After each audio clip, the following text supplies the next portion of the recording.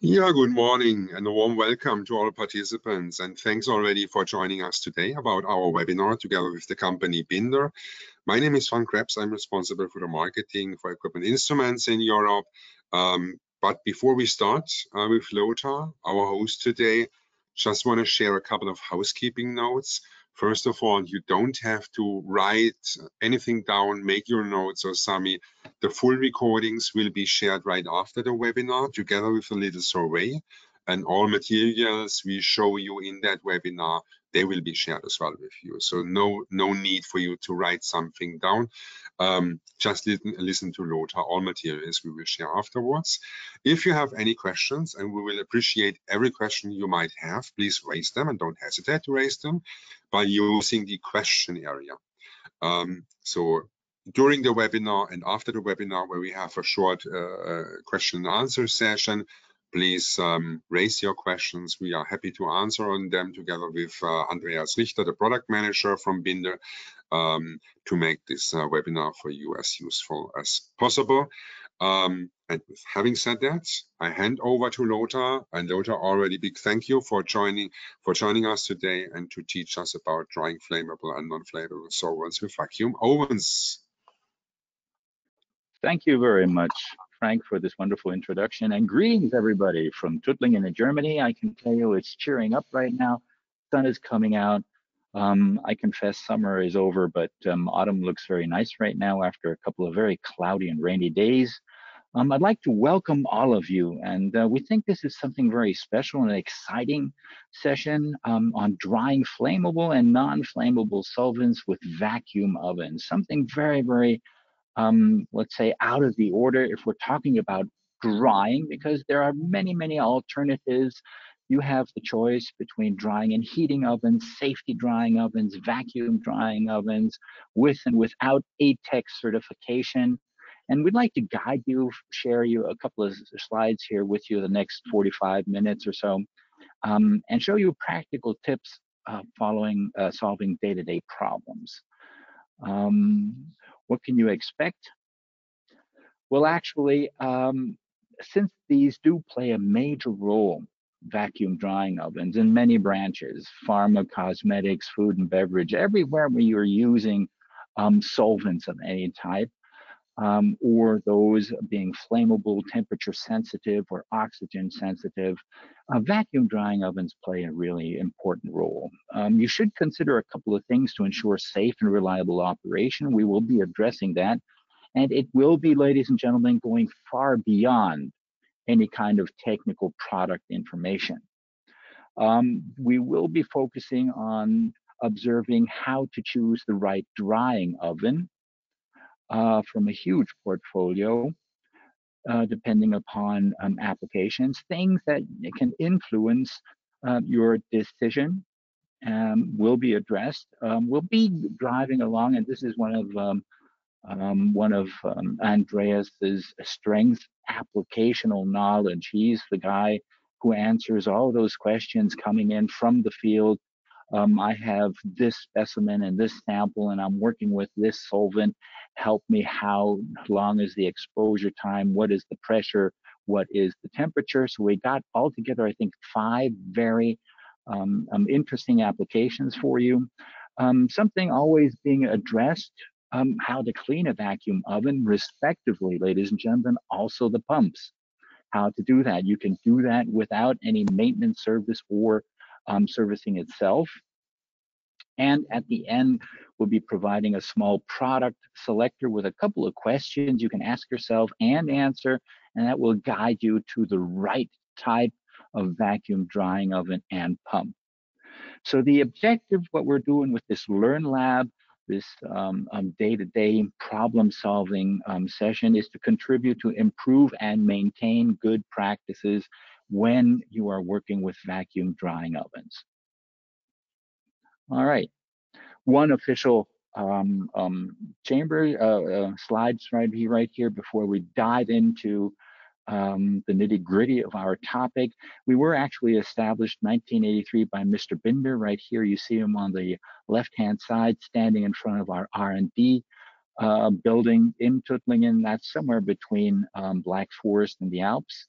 Um, almost 500 employees worldwide last year, still growing very strong. Manufacturing well over 22,000 units of all types. Please get that correctly, not only vacuum drying ovens.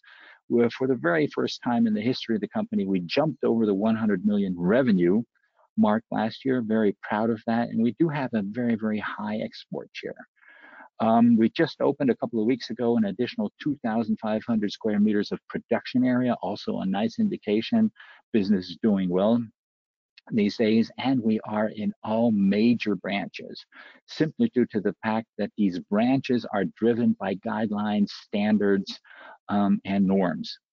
We have standard equipment, which means catalog product, article number, fixed price, such as the vacuum drying ovens, and we have customized solutions if an additional access ports or whatever are required, that's also possible. And as a highlight, we are actually the only manufacturer real worldwide who has a ATEX, who provides ATEX certified lab scale vacuum drying ovens. The largest volume we have is 115 liters, but we'll get to that further on the line. All right, here you go, the right choice for your application. Uh, we're taking a look at this, this cake diagram. In the upper left-hand corner, you see the explosion proof, the X, uh, the ATEX mark. And I'd like to share a couple of slides right here showing you the differences. Now we're talking about here on the um, upper right-hand side, drying and heating ovens very important and keep your keep your eyes and attention focused on that convection based heating which means we have a fan rotates inside and ensures a even airflow we're working with normal pressure the pressure you're sitting in right now normal oxygen concentrations the concentrations we're all breathing right now in our normal air 20.9 volume percent of O2 we have non-flammable solvents typically water or acetic acid, for example. A maximum temperature, since non-flammable, goes up to 300 degrees C. That's quite usual, uh, quite normal, common um, on the market if you're uh, marketing for a, a drying and heating oven. Um, applications typically anything around drying, curing, conditioning. Uh, we call that um, tempering, for example or tension releases of metal alloys and things like that, and exact uh, not so good for temperature sensitive and oxygen sensitive specimens. They really have to be able to resist higher temperatures and are um, not um, uh, at the risk of oxidations. And naturally, as you probably know, without any kind of pump, it's a normal drying and heating oven. Um, on the other hand side, lower left-hand corner safety drying ovens. Now, this is something very interesting because now we're working with inflammable solvents with concentrations below the lower explosion level, LEL. That's very, very important and a very a common question um, from customers is when do I choose a safety drying oven and when do I go to a vacuum drying chamber ATEX certified? The safety drying oven, same as with the drying and heating ovens, fan design, normal pressure, not normal oxygen concentrations. Very typically, these safety drying ovens are designed to comply to the um, uh, um, EN 1539, um, developed, I think, 20 years back or so. Um, talked to the head of the European working team who developed the norm back then. And he, by the way, is still using one of our chambers as a side note.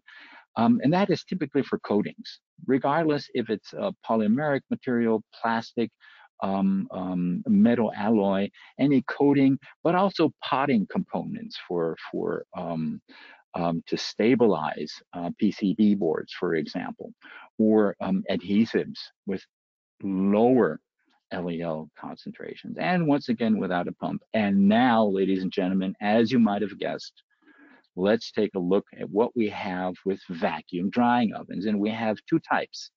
Let me start the lower right-hand corner. Vacuum drying ovens, we don't have a fan. The laws of physics um, does not make any sense to have a fan in there because there is no air inside. If we're down to 1.8 millibar, for example, using a vacuum pump, that's mandatory. Uh, you don't have any air there to transport the thermal energy coming from the heating system.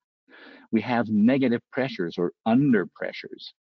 Um, normal sea level, as most of you probably know, 1013 millibars.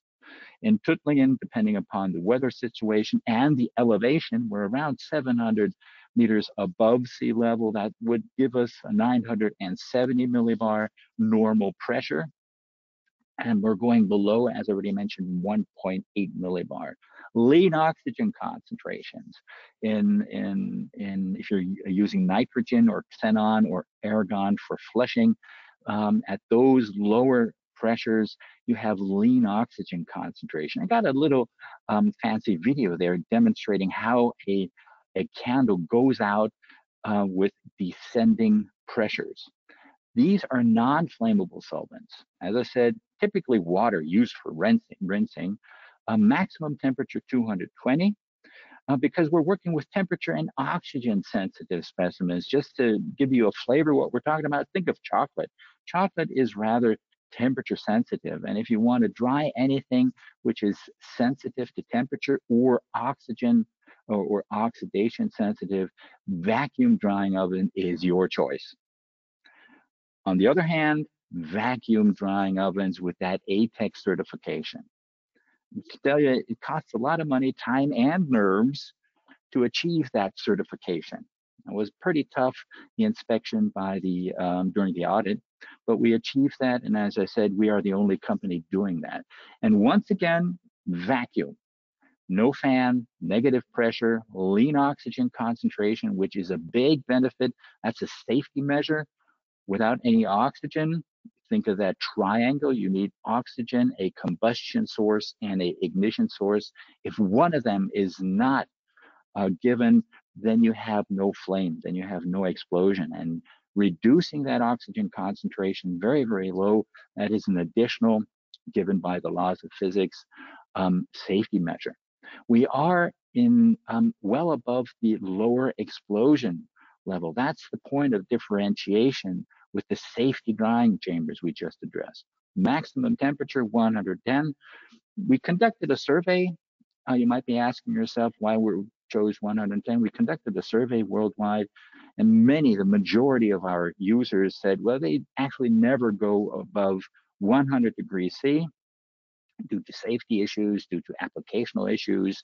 Um, so we added different 10 to really make sure we have full coverage of the most applications. And the second reason is the lower the temperature, the lower the risk of an incident. It is ATEX certified and very, very important. And we will be visiting the Gestis homepage to really show you um, where you can find information on your solvent. Um, uh, in that um, online uh, um, service. Uh, temperature classes one, two, and three. That's what normally is done. Four, five, and six are altogether six, uh, six different temperature classes.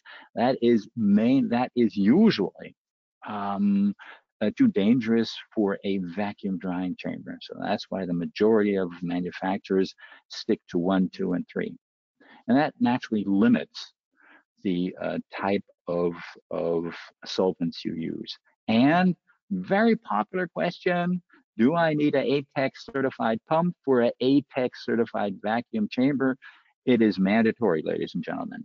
Due to liability issues, occupational health issues, um, it's it's better to have a ATEX pump just in case uh, there's an accident. Then you're on the safe side. So this actually um, brings us to the pumps. And the pumps on the right-hand side, upper right-hand side, we have two types right here. Um, and naturally, we're using our pumps. You might want to excuse that. Um, but they differ in power, and we'll be going into that. And that has uh, something to do with application, with geometry, for example, for material, for the amount of solvent um, that has to be extracted, has to be dried out of the sample. Um, and naturally, as already mentioned, ATEX chamber, needs a ATEX pump. All right, so that's one of those key messages for you. Now let's return to that overview Um, and I'd like to dive into something very basic without getting too introductionary. I'd like to point out conduction-based heating for vacuum chambers. Uh, because there's no air, no ventilator, we have to use the physics of conduction for thermal transportation while drying and heating ovens, safety drying ovens, those are those, uh, you might know them with those fans inside. Now, what does that actually mean? And I got a little animation right here. On the left-hand side, what you see is a drying oven, very typical. You see the ventilator in the in the middle. You see the um, circular heating rod. Then you see a shelf crossing the interior lining. And what you then do, you place in your specimens two geometries, a block and a star formed one then you turn on the heater, program it. Let's stick to, to 70 degrees C, 50 degrees C as you wish. And then the thermal energy is transported via air into or onto the surfaces of the samples. Now that's normal. If you take a look at a vacuum drying chamber, the first thing you notice is we're missing any kind of heating rod inside and we're missing a ventilator because there is no air, no air movement. So we have to use another kind of physical method to get that heat energy, the thermal energy for the drying process into a vacuum chamber.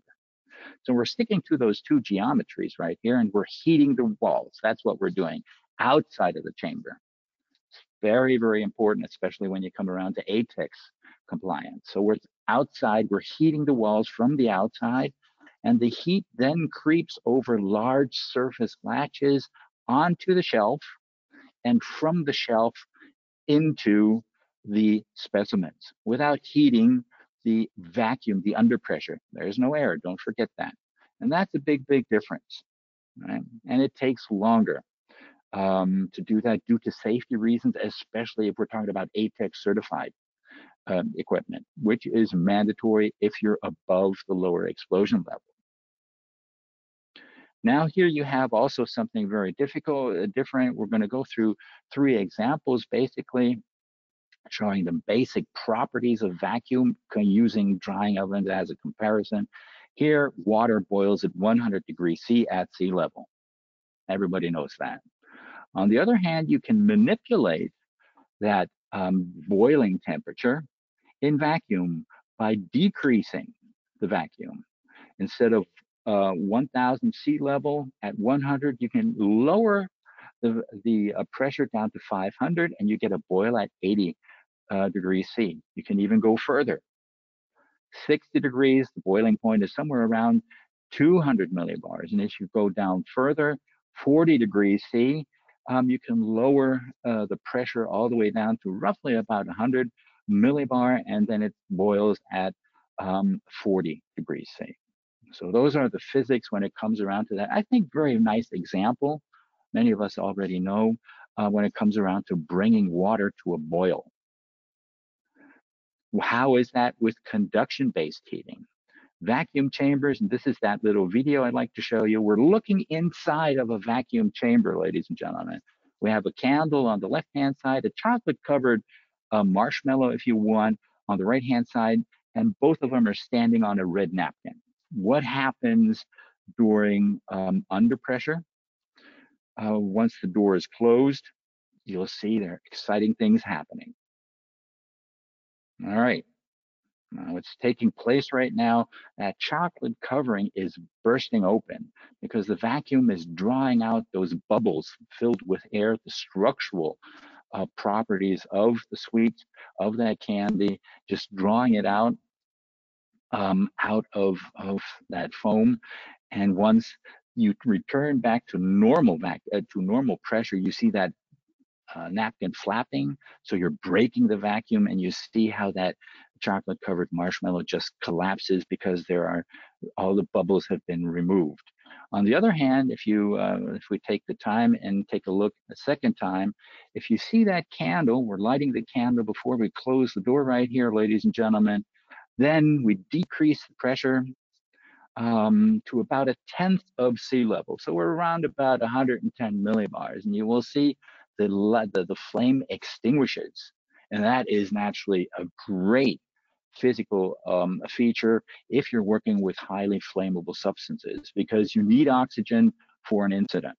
Those are one of those three factors for a, a incident. All right. So that gives you a little bit an idea of what's happening in a vacuum drying chamber. And there are a couple of rules. The higher the temperature, the higher the boiling point in P pressure, and the shorter the drying time it is essential depending upon what you're drying, what solvent you're drying, and how often you're drying that during a daily routine. The lower black dotted line, that is an empty device, just as a reference. Um, and the blue line, that is a 40 degrees C temperature process. Below you see the time frame and on the left-hand side, pressure in millibar. Please note, ladies and gentlemen, we are between zero and 100 millibar. We're not going up to 1000. So you get that scaled right. Um, and what you do see right here is that the drying process uh, takes around 105 minutes. If you increase that um, temperature to 60, that's the orange line right now, um, and there you have a drying time of roughly, um, let's say 85 minutes. And if you increase that even further to 80 degrees C, uh, that is the quickest, driest time, then you're around 50 minutes, not even an hour. And these are things you can adjust, you can manipulate according to your specific demands and application. Larger amounts, longer drying times makes a lot of sense. That was the first reaction of, of Andreas when I showed him this curve. I said, hey, this is just to visualize that it is very, very comparable actually to drying and heating ovens. Um, the larger the, the amounts, the longer the drying times. Here, once again, below the time axis, 360 minutes. On the left-hand side, the millimeter, the milliliters of water dried.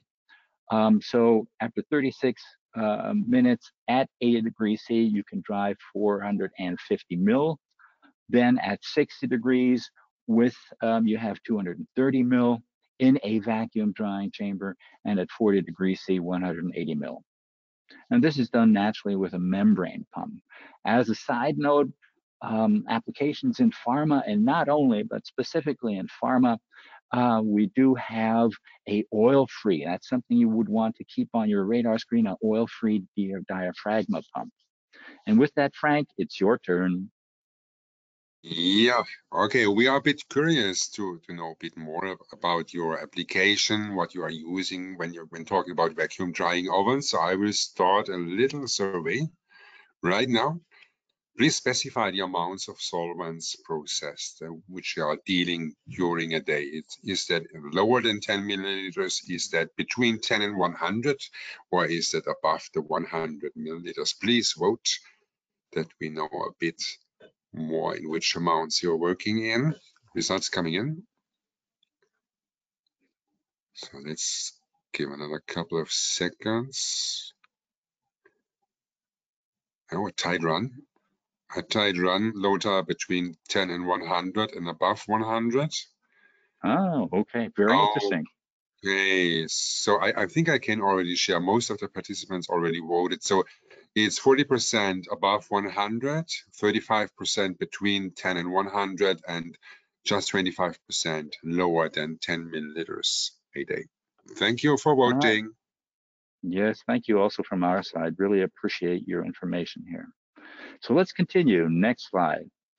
That basically is just a summary of what we just saw from the curves. Under pressure, temperature relationship, um, that's the water boils thing. That's why water boils at uh, lower temperatures on the on Mount Everest, for example uh, the vapor boiling pressure temperature time relationship.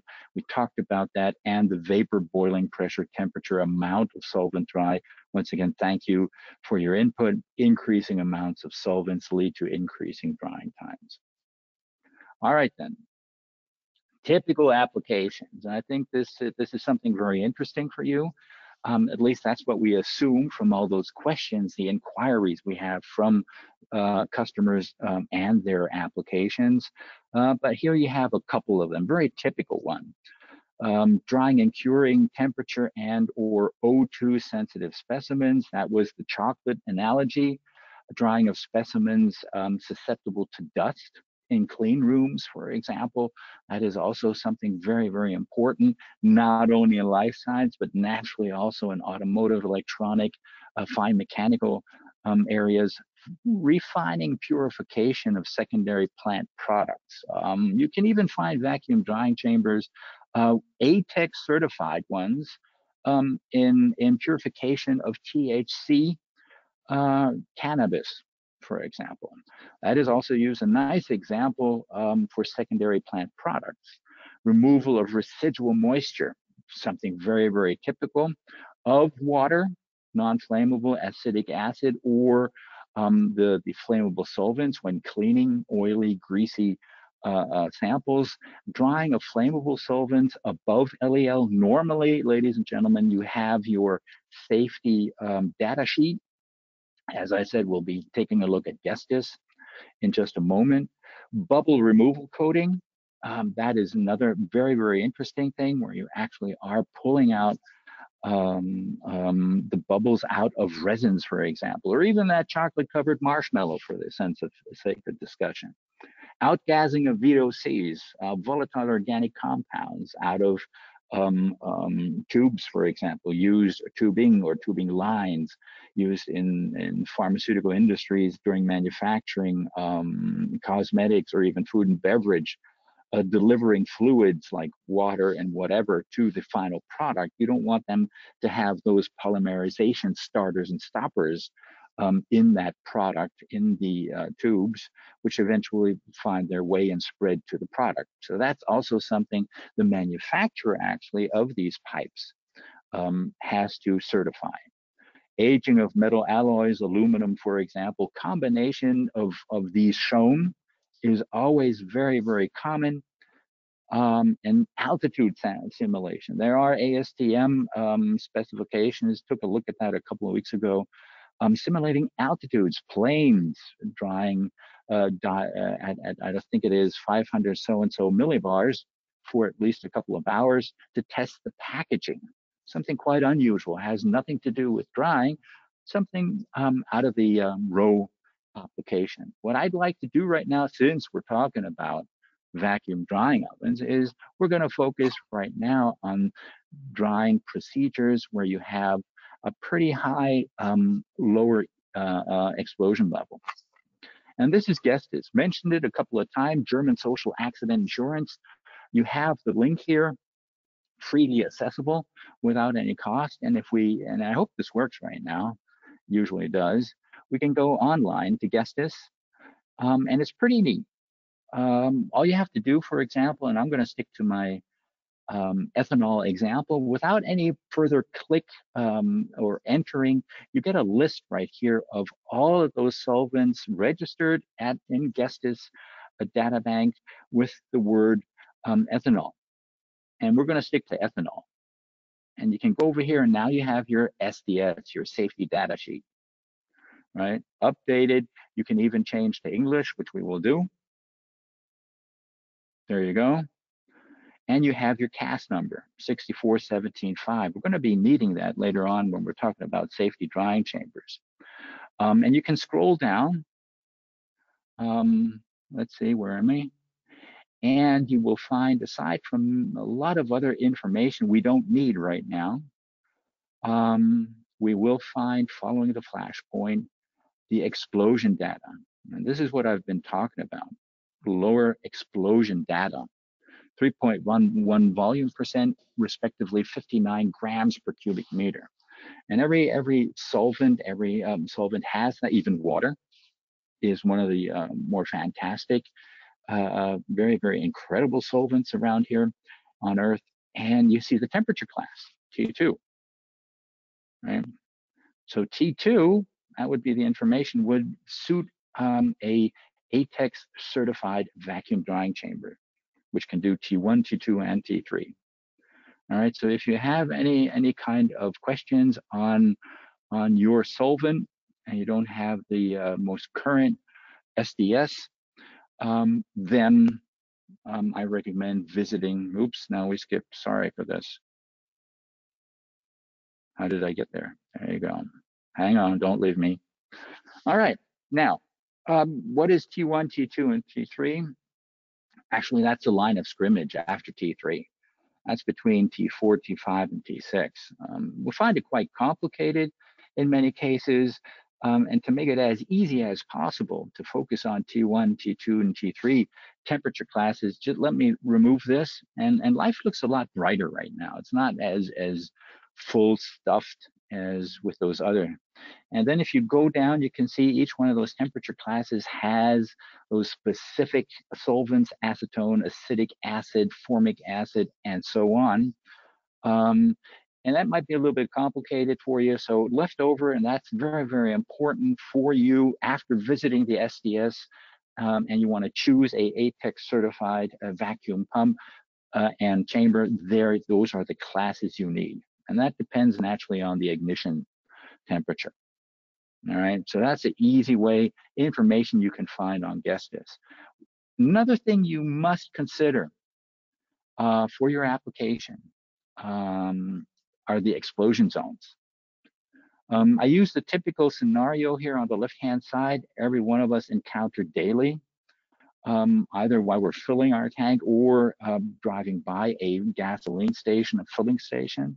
Here you have a nice example of those three zones. Um, and I'm not going to dive further into this.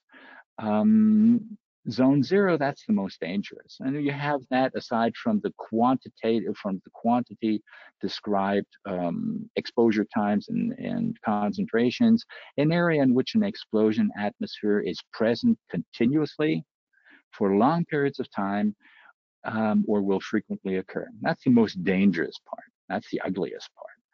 Then zone one, an area in which an explosion of atmosphere is likely to occur occasionally in normal operation. Um, and it may exist because of repair, maintenance, operation, or leakages. And zone two, from those three explosion zones, that's the, the easiest way, a place in which an explosive atmosphere is not likely to occur in normal operation.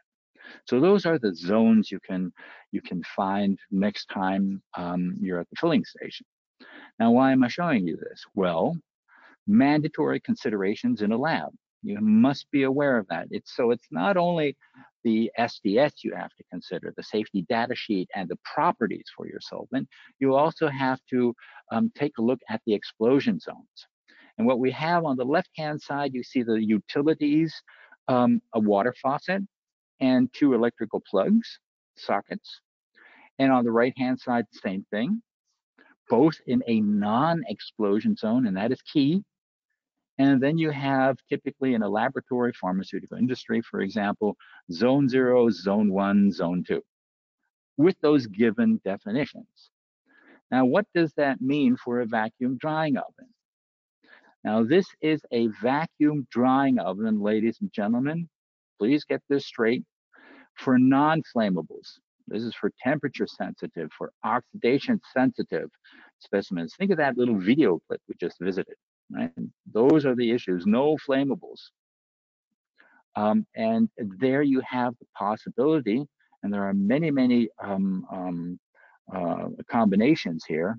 Um, Andreas was um, has encountered many of these questions, so if you do have a question in that area, please ask. Air, nitrogen, argon, and xenon. You can flush the interior of a vacuum drying chamber. All right, then you need one socket for the chamber, power supply, the other socket, power supply for the pump. Why do you need water? Water is naturally cooling the condenser in the pump. That's how we have uh, have one of those typical scenarios for the golden rule that we follow here at Binder. Condensation takes place at the coldest spot always. It's it's going to happen to me in a couple of days right now. I come in from the cold into a place where it's warm and my glass is fogged.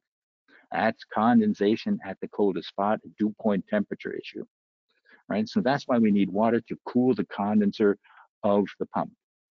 For non-flammables, now what does it look like?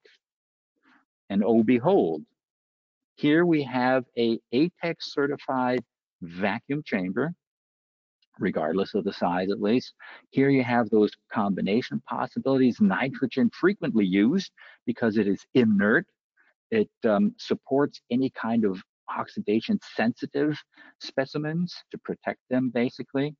Um, argon and xenon, and you can actually place this in zone two, but not in zone one and zone zero.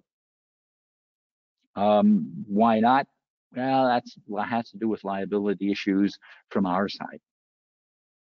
That is, is something that we would like to limit to this to keep those those risks handling um, um, um, in a reasonable um, um, tolerance band. And what you do see now, those two sockets and the water faucet are not in zone two. They are outside in the non-explosive area. Why? Because here you have ignition sources, those sockets. All you need is a spark and you're in trouble.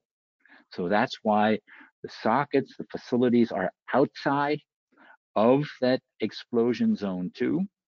while the unit itself, we have a dozen.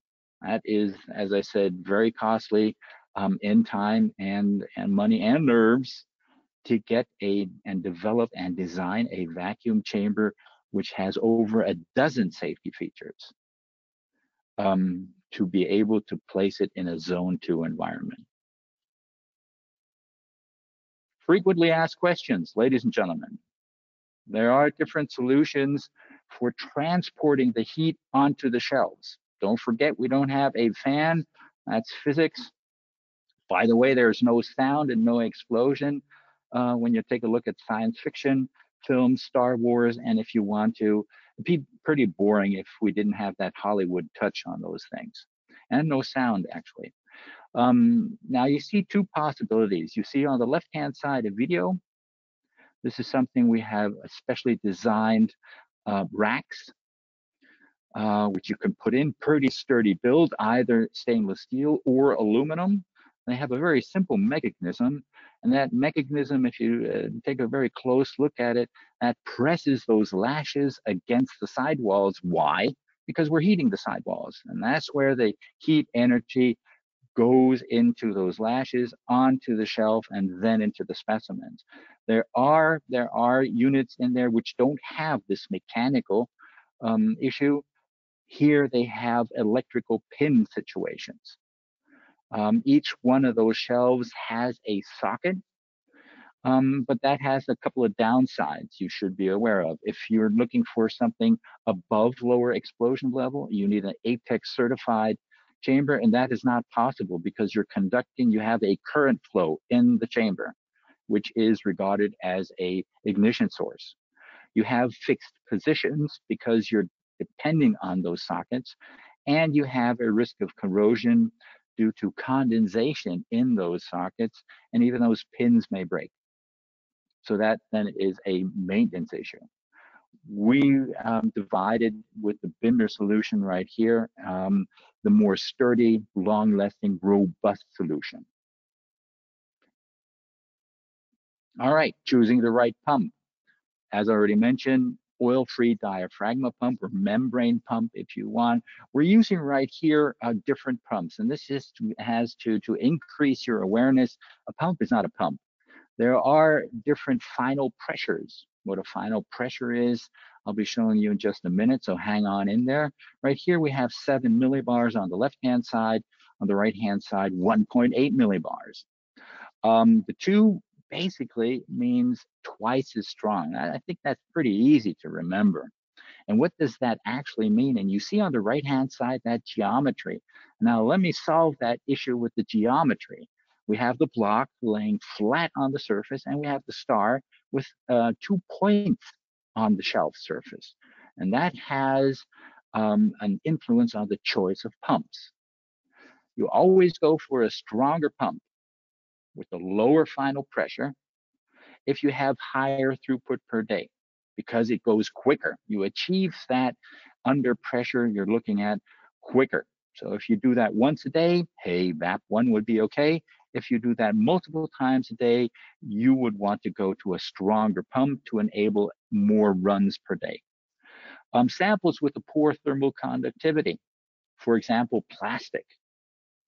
Um, plastics do not conduct thermal energy that good in comparison to metal. So if you have something of that type, go for the stronger pump. The smaller contact surface, think of those star and those two points um, in contact with the shelf. That would be something. If it's not lying flat as a piece of paper on your shelf, you want to make uh, sure that you have a stronger pump to get it through that very pointy, let me say, geometry. And that goes back to one of our questions. So the first question we said, any amount of solvent greater 100 milliliters, we highly recommend the stronger pump, regardless if from Binder or your own pump or from another company. That sort of, of four points to consider when choosing um, the right pump for your application. And it's very, very frequent, this question. That's why we're sharing that. Um, if you're asking yourself a final pressure, what does that mean? Um, here you have those three terms used when it comes around to vacuum pumps. Nominal speed, actual speed, final speed. The final speed, ladies and gentlemen, that well, actually everything is quite easy. The uh, nominal speed, that is when the pump is running dry.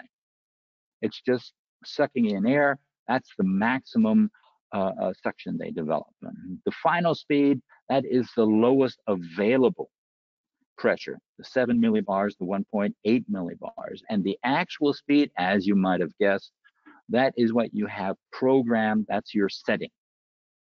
And you can see that those curves differentiate and that it is absolutely true that VAP2, that was the thing to remember, is about twice as strong as one for those specific applicational um, requirements. Another very frequently asked question, what's the difference between a speed controlled vacuum pump and a fixed speed vacuum pump?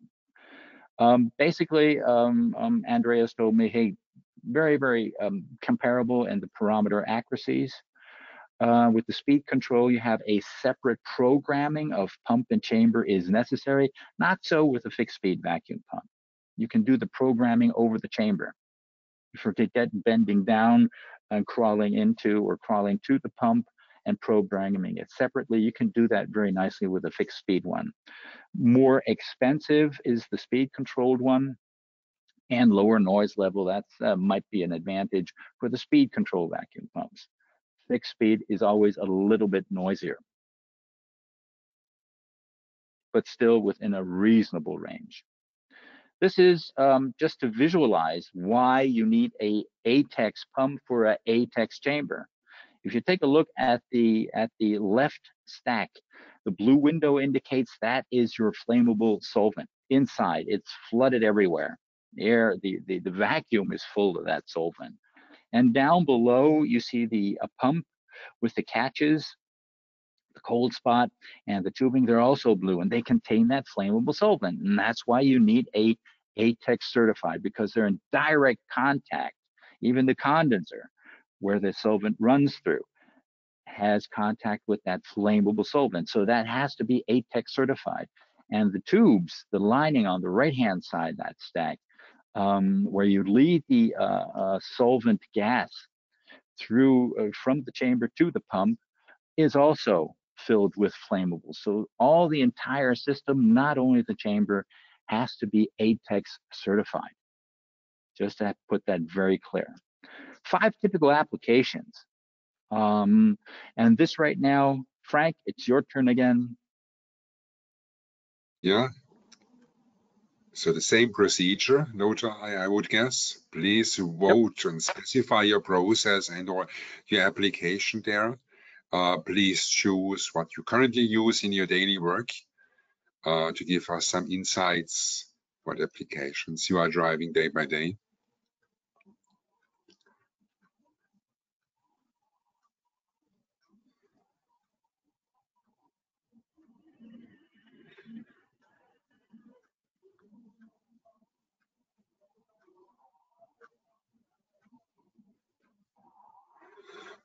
Okay, results coming in. So I, I, think that is a more or less clear picture, Lothar. Um, seven, roughly 70% uh, are drying flammable and 70% are drying non-flammable solvents, while the rest is tempering and outgassing solvents just. So ah, thanks again very... for voting. Interesting. Thank you, ladies and gentlemen. Now let's proceed to those typical applications. Um, eager to show you that.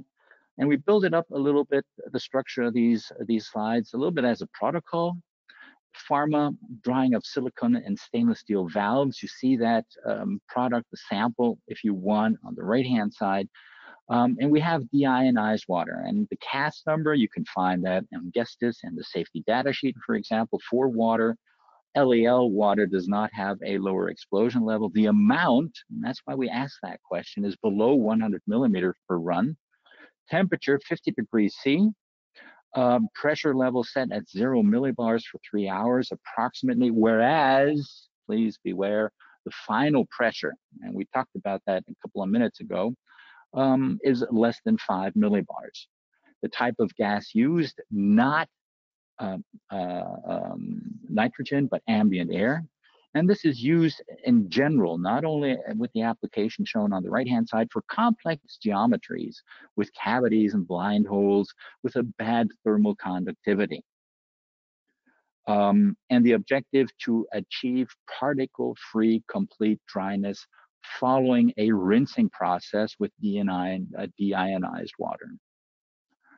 Another one from the jewelry area, from the metal, metal alloy area, once again using uh, water um, for a rinsing process.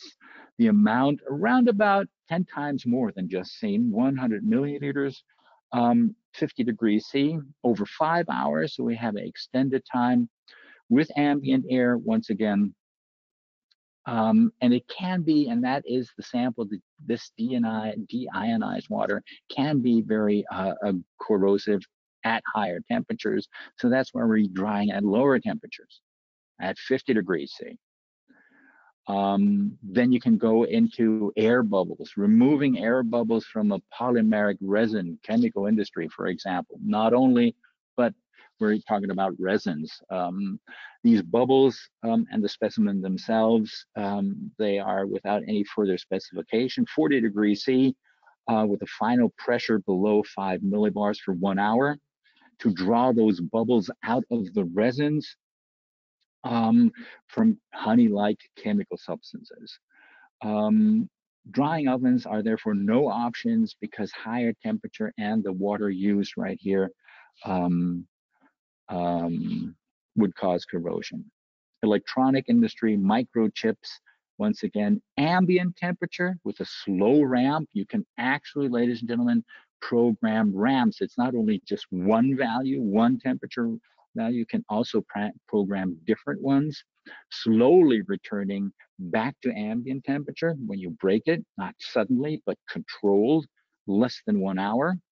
Once again, ambient air the microchip glues to uh, carrier plates with a double-sided tape. That is the application.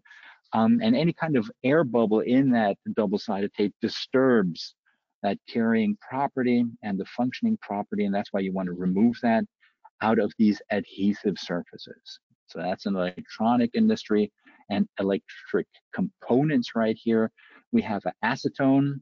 We have an LEL of 60 grams per um, cubic meter.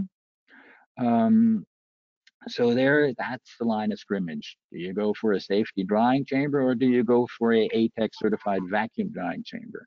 You have four kilograms per run, right? And 120 milliliters of acetone. Temperature 80 degrees C, as you can read, four to 16 hours, depending upon the amount. And naturally you have i cannot emphasize that um, um, often uh, often enough atex pump. Um, it's a mixture of powders um, used for safety feet, uh, safety switches for example and it quickly achieves complete dryness at low cost with a vacuum drying chamber. Frank it's your turn again yeah, perfect bridge loader to our next poll. So Last but not least, please specify your maximum temperature you are working with in your daily work. You should know already why this is important. So let's wait a couple of seconds.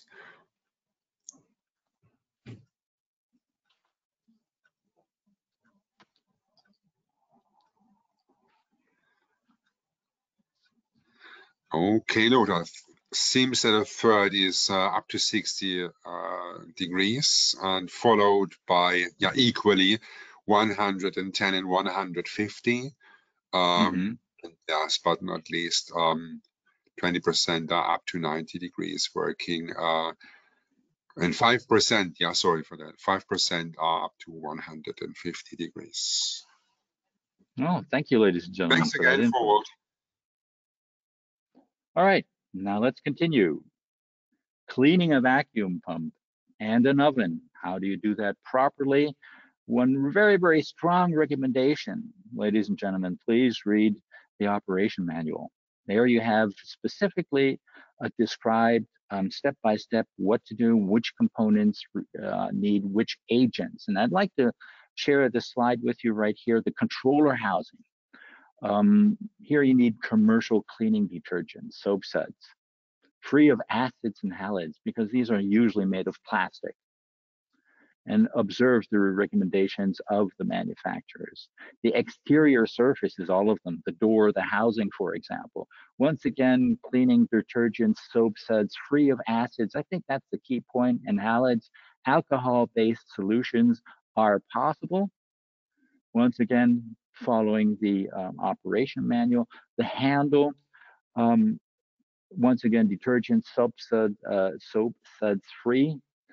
Um, and then you can continue the glassware, no acetone, please. And there are some uh, combinations with the window where you have glass in combination with polymeric material. Uh, we did have um, one customer doing cleaning the that polymeric uh, window with acetone and he needed a replacement. Right, so that's something to be aware of because you do do want to view what's taking place inside. All right, so that's a um, side note right here. Zinc coated hinge parts, right? Please never use neutral cleaning agents or zinc uh, on zinc covered uh, surfaces. That leads to um, corrosion we don't want.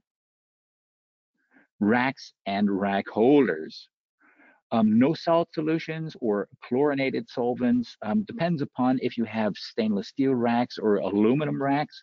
Aluminum racks, um, they they conduct thermal energy a lot more better, a lot better than uh, stainless steel. Whereas stainless steel is more, as you might know, more chemical resistant than aluminum ones. Your choice when it comes around to um, configuring your vacuum drying chamber. Inner chamber here, stainless steel um, free of acid uh, or halides, alcohol-based solutions. If we're talking about biological contamination, which comes up once in a while, um, that is a possibility. Uh, using alcoholic-based solutions, the door gasket, uh, silicon or um, FKM, once again, depends upon the application. The one more chemical resistant, the other more temperature resistant, can also be removed and cleaned. ATEX certified ovens and pumps in red. Please, ladies and gentlemen, regardless of what it is, before cleaning, make sure you have no explosive atmosphere in the installation area. Um, make sure that you unplug it. Clean the unit, um, never clean it in a potentially explosive area. Um, using a dry cloth is a no-go because we don't want any electrostatic charges. Uh, one of those safety issues. All of our units and the pumps are grounded to get around of this hazard, to eliminate this. Um, so that is something, and please obey what you find in the operation manual. The pump itself, um, acetone with a soft cleaning aid, um, service manual required. That's something that you would uh, want to um, have done by a technical um, engineer, by a professional. The exterior housing, the same thing. um, um, goes as for the housing of the chamber. The hoses themselves free of acid or halides. Rinsing is something here very, very important, or else you'll have contamination in your final catch during the next run. The separator themselves, glassware, you can put them also in a labware washer. If there are no residuals left over, the catch itself. Um, and those are the things that you can observe when it comes around to cleaning a pump. Um, vacuum drying ovens, getting rid of biological uh, contamination as addressed. Um, you do have the possibility, um, at least with the uh, one for non-flammables, to heat it up to 190 degrees C. That is a sterilization. That is not disinfection anymore. And it does depend upon the exposure time, roughly about two hours or so. You can spray the inner one with appropriate agents, um, and the racks themselves can be autoclaved, for example. Uh, flammable solvents, beware um, to conduct that according to what we just heard. Uh, for biological uh, um, contaminants or decontamination, the agents, and having that autoclave at 121 degrees C at pressured air. Mandatory procedure, and that goes for all of them. And this is something um, make sure that you don't have any infectious, non-toxic material inside, radioactive substances. I think that's common sense. Uh, be sure to switch it off. Don't forget. Uh, disconnect the power supply to really make sure the plug themselves, um, let it cool down to ambient temperature. Um, so we're, really working here on the safe side. Uh, the chamber will not get wet using damp cleaning aids. Um, never spill water inside, uh, difficult to clean, um, might uh, form corrosion. Wipe it down with a damp cleaning aid um, and wait until they are completely dry. Reassure yourself that there are no residuals inside, or you're going to have to have a prior run uh, uh, um, uh, process to really make sure you're getting all of those uh, residuals out there. The same goes for the pumps, naturally. The right choice to finalize and wrap up the session, I'd like to spend a couple of slides right here. We're almost done. Two more minutes on safety drying ovens. And the big thing right here to distinguish it is the LEL. Where do you find it? Gestis or your safety data sheet. And using um, ethanol right here, anything that is in the blue area of temperature and concentration, that is something you can use for the safety drying oven. If it is above that uh, dotted red line in the yellow, then you need an ATEX uh, vacuum drying oven. That's the point of differentiation right here between safety drying oven. If it's below LEL, go for the safety drying oven. It usually is more price attractive. If it is above, no chance, ladies and gentlemen, ATEX certified. And that naturally always depends as we learn from um, on, on the temperature. That's the Gestis. We took a look at that. You will find here on our homepage a solvent curve. You can find that out. You will recognize that curve. Um, at a specific temperature, you will get a specific amount of your solvent in our safety drying chamber, not in cubic meter, but in our chamber with um, 156 liters. And that's the point of differentiation. That's a little helper we can provide. And as Frank said, you will receive the slide deck differentiation between the two. Um, there is no restriction to the explosion zone and no limitation to the temperature class for a safety drying oven.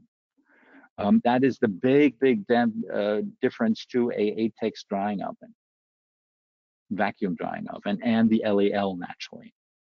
Now this is our little helper we'd like to provide you. Um, a, a uh, the U.S. Americans call this a cheat sheet uh, pre-qualifying leads cheat. That's what the sales call it. For our customers, this is just giving you a couple of questions in your hand to help you differentiate, to find your way through the jungle of, of different specs and parameters and what you need. And on the left-hand side, you see a very, very clear path with a few questions leading you to the right product, uh, regardless of Binder or not. And on the right hand side, if it's more oxygen temperature, uh, temperature sensitive, then you have right here the uh, possibility to choose the pumps once again very easily, more than 100 milliliters, less than 100 milliliters. And I think this is a little helper um, using even your finger if it's on your screen. We got an installation guide, pre-install. What do you have to consider before delivery? For example, ATEX, there has to be an ATEX certified signature person on site to deal with the situation of insulation. And that was it, ladies and gentlemen. Thank you very much for joining us. I think right on time right here. Have a great day. Um, if you have any questions, uh, time is out. Please want to uh, forward them to Frank. Um, and I suppose our chat master, Dr. Andreas Richter, did his job very well and answered the questions you had. And with that, ladies and gentlemen, um, thank you very much. Yeah, thank you, Lothar. Uh, and as Lothar correctly said, uh, you will receive all the slides and recordings right after the webinar. If any questions are left after the webinar, and that is what is usually going on in your day-to-day -day work, the most questions will appear. Don't hesitate to, to contact your Avantor or Binder sales representative or ask your question even to the webinar at avantorsciences.com email address you will get right after that webinar. Thanks again for joining us today. Thanks, Lothar, for giving us all that valuable insights. And I wish you all a great rest of the day. Thank you and goodbye. Bye-bye, everybody. Take care.